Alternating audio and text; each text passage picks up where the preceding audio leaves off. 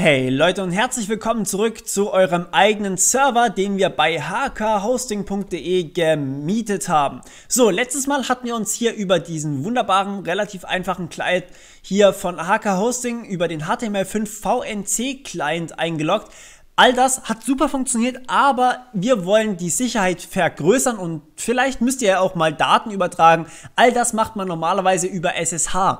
Und über SSH muss ich leider dieses Video zweiteilen. Das heißt, der erste Teil für die Windows-Leute ganz grob, was man machen muss, um sich einzuloggen. Und zwar, man braucht PuTTY. Und äh, für die Linux-Leute wird es danach auch noch eine kurze Einweisung geben. Okay, eigentlich nichts kompliziertes, ihr müsst hier einfach nur auf die Webseite putty.org gehen, dann auf Download logischerweise und dann landet ihr hier bei dieser komischen Adresse. Hier einfach auf den Client direkt, also ihr braucht nichts installieren oder sowas. Ähm, aber hier könnt ihr euch einfach den Client runterladen und bei euch ausführen, dann kommt dieses Fenster, also ihr müsst wirklich nichts installieren, einfach ausführen und schon seid ihr dabei. Dann kommt dieses wunderbare Fenster hier und hier gebt ihr jetzt einfach folgendes ein. In eurer ersten E-Mail, die ihr bekommen habt, habt ihr hier euren Hostnamen und eure Haupt-IP äh, bekommen. Einfach diese E-Mail, die ist quasi alles, was ihr braucht. Diese IP tragt ihr ein bei eurem Hostnamen, Port einfach so lassen, SSH muss der Haken drin sein, also nicht über Telnet oder Airlogin oder RAW oder was auch immer und dann einfach auf Open gehen. Ich kann das jetzt leider nicht machen, weil ich hier keine, äh, kein Internet aktiviert habe.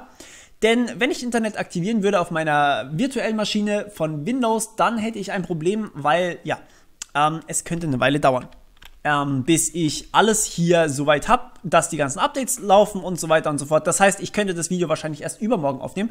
Ähm, das wollte ich vermeiden, deswegen hier einfach eintragen eure IP und auf Open klicken und dort werdet ihr dann nach dem Benutzernamen gefragt. Das ist root aktuell noch und das Passwort für root habt ihr auch in dieser E-Mail bekommen, nämlich das, was ich hier schon markiert habe.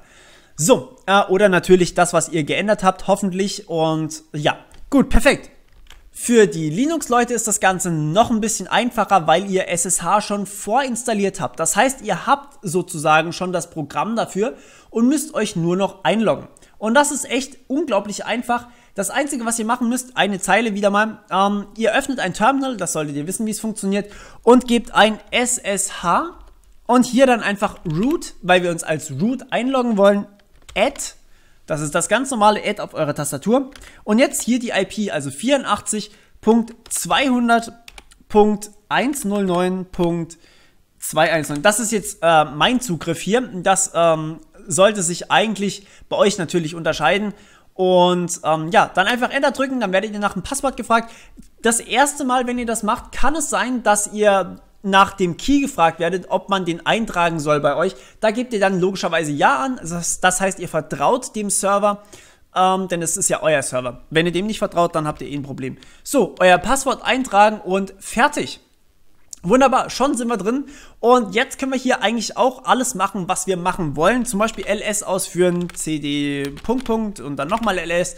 Und dann sehen wir hier alles, was wir so von einem normalen Linux kennen. Das heißt, wir sind quasi ähm, in dem anderen Server drin, aber wir sehen nicht direkt, was da so passiert, sondern wir haben sozusagen unseren eigenen Kanal dahin und können ihm von diesem Kanal aus Befehle erteilen.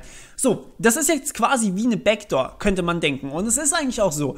Eigentlich ist SSH eine Backdoor und deswegen sollten wir diese Backdoor möglichst schnell so absichern, dass nur wir das benutzen können. Ein Passwort, das hier lässt sich relativ leicht knacken also was heißt relativ leicht? Man kann es knacken und es dauert wahrscheinlich Ewigkeiten lange, aber es ist möglich. Und was wir wollen ist, wir wollen SSH-Keys benutzen. Und mit diesen Keys lässt sich das dann wirklich absolut gar nicht mehr knacken, weil es einfach ewig dauert.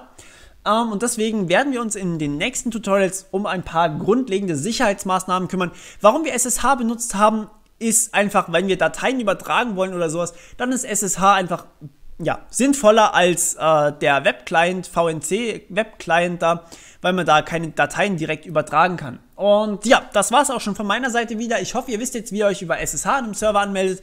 Und wir hören uns beim nächsten Mal. Bis dann. Ciao.